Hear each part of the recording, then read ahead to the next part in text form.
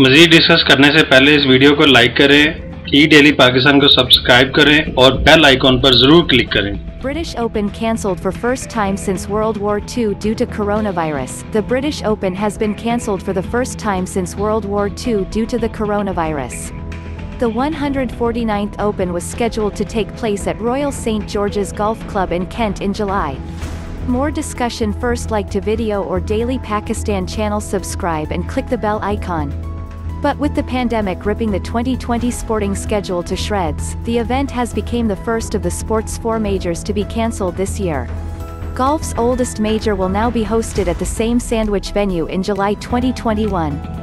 The Open was due to be played in Kent from the 12th to the 19th of July but it has been necessary to cancel the championship based on guidance from the UK government, the health authorities, public services and the R&A's advisors, organizers R&A said in a statement on Monday. St Andrews will still host the 150th British Open, but a year later than scheduled in 2022. Our absolute priority is to protect the health and safety of the fans, players, officials, volunteers and staff involved in the Open.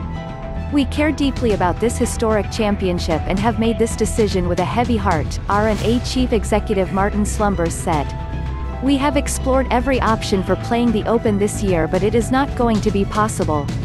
We rely on the support of the emergency services, local authorities and a range of other organizations to stage the championship and it would be unreasonable to place any additional demands on them when they have far more urgent priorities to deal with.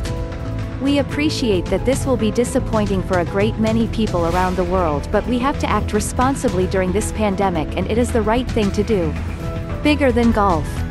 The British Open is the latest high-profile tournament to be axed because of the virus. Wimbledon was cancelled for the first time since World War II last week, while Euro 2020 and the Olympics have been pushed back a year until 2021. Ireland's Shane Lowry won last year's British Open at Royal Portrush in Northern Ireland. Obviously I'm disappointed that I won't get to defend the Open Championship this year but I feel the R&A have made the right decisions based on people's health and safety. See you all in Royal St George's in 2021, Lowry tweeted. Royal St George's has hosted the British Open 14 times, most recently in 2011, when Northern Ireland's Darren Clarke won the event. The Open, which started in 1860, was also previously not held from 1915 to 1919 because of World War I. England's Danny Willett, who won the 2016 Masters, told the BBC, postponement or cancellations is something that we have become accustomed to until everyone is safe and safe to do our sport. It is a shame but there are things bigger than golf at the moment. Both this year's Masters and the PGA Championship were postponed in March because of the health crisis and were rescheduled after the British Open postponement.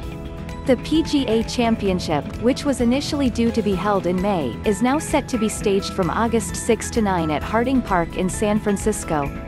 The US Open has been moved from June to September 17 to 20, the week before the Ryder Cup clash between Europe and the United States.